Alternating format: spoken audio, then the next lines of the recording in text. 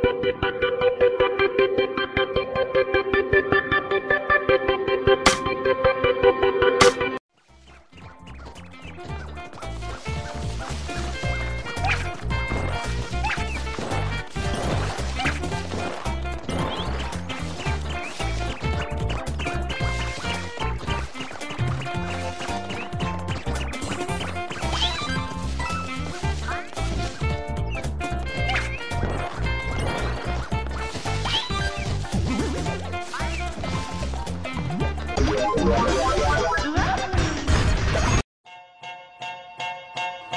Yeah. It's Trey. The hell kind of name is that? It's like some sort of superhero or something.